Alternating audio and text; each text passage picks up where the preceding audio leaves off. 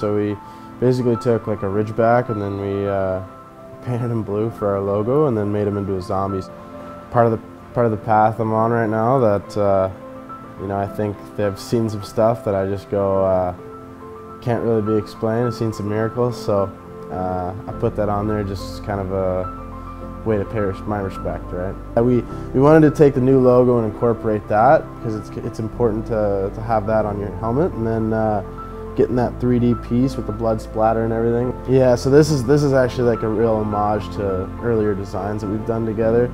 Played hockey in Alaska and Canada growing up, and and I think it's just uh, it's a nice way to say like thank you to places that you know allowed me to hone my craft. My girlfriend's mom was a survivor of breast cancer, so I put that on there again, you know, out of respect. A lot of my back plates out of respect, and it's it's appreciation and stuff I've gone through.